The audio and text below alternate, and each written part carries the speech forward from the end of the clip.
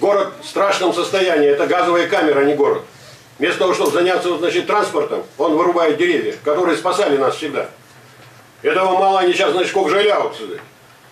Фактически, Есимов сегодня провокатор, самый настоящий. Таким красным от гнева главного эколога страны журналисты не видели уже давно. Дважды кандидат в президенты Мэлс Люсизов назвал племянника главы государства главным лесорубом Казахстана. Тут 20, 30, 40, 50, 60, лет 80 этому дереву. Оно бы еще росло бы еще бы лет 100.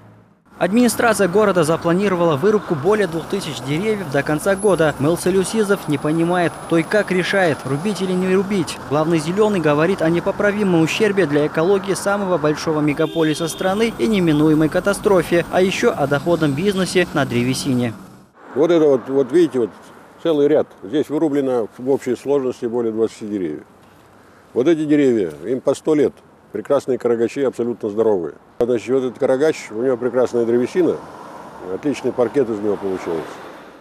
Камень в огород алматинского градоначальника прилетел неделю спустя после его феерического выступления в службе центральных коммуникаций. В Астане Ахмеджан Есимов без ложной скромности рассказывал, где в Казахстане жить хорошо. Валовый региональный продукт Алматы сегодня за прошлый год составил 5,6 триллионов тенге или на душу населения 25 тысяч долларов.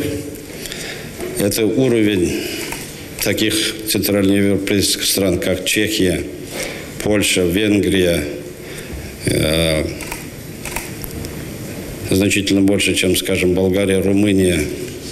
Это уровень Южной Кореи. В принципе, вот эти все заасфальтированные участки, по которым мы с вами идем, когда-то были э, задворками. Маргарита Садыкова – коренная алматинка в третьем поколении. Она хорошо помнит, какой цветущей была столица Казахской ССР – Алма-Ата, и каким теперь стал город Алматы. На месте бывшей остановки, которая сейчас на проспекте Абая, центральный стадион, была великолепная, посаженная жильцами березовая аллея. Двухсторонняя березовая аллея.